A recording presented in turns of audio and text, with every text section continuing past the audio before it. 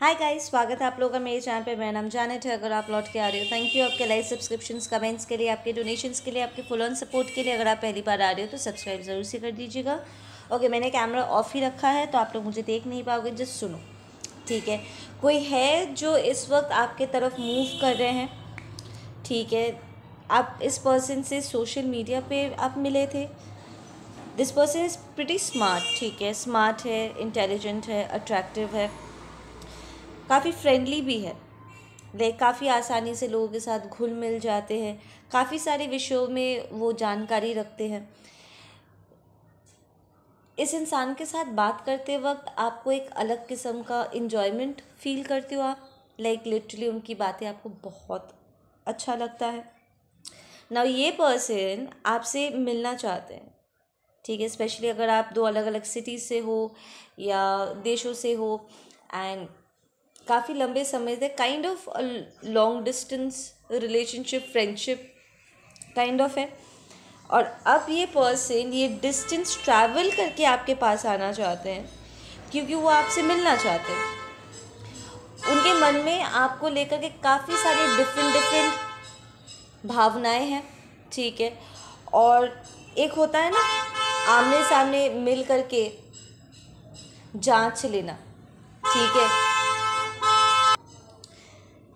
या तो वो आमने सामने मिल करके एक बार श्योर हो जाना चाहते कि जिस तरीके से आप लोग वीडियो चैट्स बोलो या फ़ोन पे बात करके जो कुछ भी आपने अपने बारे में बताया और जो कुछ भी उन्होंने समझा है फील किया है, वो रियल है। वो एकदम श्योर हो जाना चाहते। तो ये पर्सन बहुत जल्दी आपसे मिलने आएँगे। ठीक है। वो एक सरप्राइज़ प्लान कर रहे हैं। इधर उधर अगर आप बात करोगे तो आपको हिंट्स मिल सकते हैं। अचानक वो आपको आकर के बता सकते हैं सेम कि मैं नेक्स्ट वीक आपसे मिलने वाला हूँ या मैं मिलने आ रही हूँ। ठीक है।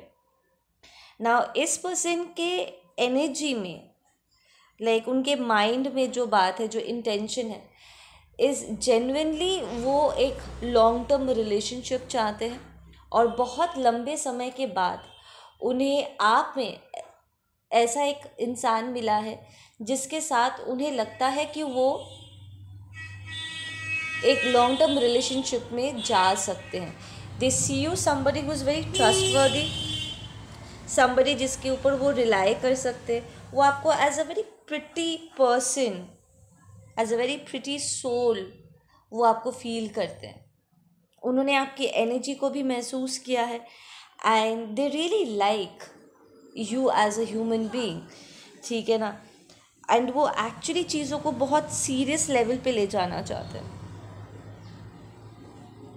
वो कई बार आपको लेकर के वो सपने भी देख चुके हैं। वो दिन दिन रात लाइक बार बार करके वो आपको लेकर ही सोचते रहते हैं। They they dream about you कि आपके साथ रिलेशनशिप कैसा होगा, और आप लोग साथ में क्या क्या कर सकते हो। आपने, आप जो जो बातें बताते हो, ठीक है, वही बातें उनके दिमाग में घूमता रहता है, और वो बार बार करके आपके मैसेजेस पढ़ पढ़ के वो स्माइल करते रहते हैं, वो ब्लश करते हैं। This person really has some serious feelings for you ठीक है ना? ना फाइनेंशियली ये पर्सन काफ़ी स्टेबल है। किंग ऑफ़ पेंटिकल्स निकल के आया है, उनके लिए सो काफ़ी स्टेबल है। Has a very bright future काफ़ी कैलकुलेटिव भी है। आई विल नॉट से कि वो फाइनेंस को लेकर के कंजूस है बट सोच समझ के कैलकुलेट करके खर्चा करना, ये उनमें है। ठीक है ना? तो वो जान लेना चाहते कि उनका मेहनत का पैसा कहाँ जा रहा है। कि कोई चीज़ या कोई पर्सन उनके टाइम एनर्जी के लिए लाइक भी है या नहीं। लाइक दैट ठीक है ना? Other than that it it seems like ये पर्सन काफ़ी केयरफुली अपनी ज़िंदगी जीते हैं क्योंकि वो ठगना नहीं चाहते। वो नहीं चाहते कि कोई आए और उनका फ़ायदा उठा के चले जाए। ठीक है ना? हालाँकि वो काफ़ी केयरफ्री uh, भी रहते हैं। काफ़ी इंजॉयबल भी है लाइक उन्हें लोगों के साथ घुलना मिलना अपने आप अपने टाइम को प्रॉपरली अपने इमीडिएट मोमेंट्स को इन्जॉय करना उन्हें बहुत अच्छे से आता है। वेकेशंस पे जाना गुड फ़ूड ठीक है ना? तो ये सब एकदम सही है। इट्स जस्ट दैट कि वो कुछ चीज़ों को लेकर के थोड़ा केयरफुल रहना पसंद करते हैं। और यहाँ पर उनकी बात, उनकी लाइफ की बात हो रही है राइट लॉन्ग टर्म रिलेशनशिप की बात हो रही है सेटल डाउन होने की बात हो रही है। तो वो आपसे पर्सनली मिल के एक बार श्योर हो जाना चाहते हैं कि yes you are the one ठीक है ना? वो लिटरली आपको महसूस करना चाहते हैं, आपके एनर्जी को महसूस करना चाहते हैं। जो सारी चीज़ें अब तक उन्होंने फील किया है, जो सारी चीज़ें उन्होंने आपके बारे में सोचा है, माना है, विश्वास किया है, वो एक बार अपनी आँखों से देख करके बस कंफर्म कर लेना चाहते हैं। एंड ये पर्सन काफ़ी क्विकली व्हेन दे रियलाइज़ कि हाँ you are the one for them तो वो बहुत जल्दी आपको प्रपोज करेंगे। आप काफ़ी सारी चीज़ें इस पर्सन से एक्सपेक्ट कर सकते हो। This is somebody who is very reliable ठीक है ना? एक बार वो अपने आप में श्योर हो जाएँगे ना तो वो खुल के आपके साथ, अपने आप को वो लिटरली आपको सौंप पाएँगे।